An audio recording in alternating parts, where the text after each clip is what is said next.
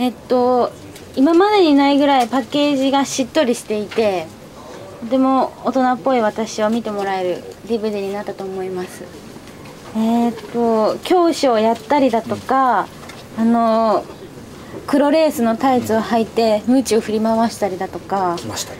昔何年か前だったら 絶対やってなかったような衣装を着たりしているのですごい変化は感じてます。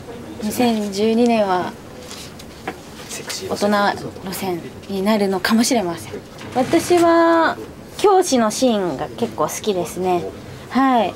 フリフリの衣装とはまた違ってこうジャケットスーツを着ているっていうだけでピシッと大人の女性になれたような気がしました。挑発するような先生の上から目線で男の子をはいもてあそんでます。一人旅をしてみたいですねどの辺りに行きましょうか？どの辺りがおすすめですか？どこに旅をすればいいですかね？銀座。うん。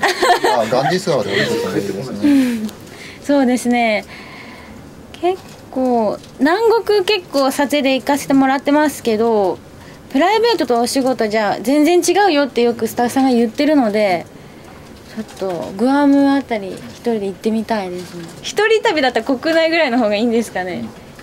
温泉とか予定はないですか二人旅はじゃあお母さんと一緒に行きたいです。あ。お母さんとなんか女ガールズ旅して マッサージ受けたりしたい。どうも中村静香です。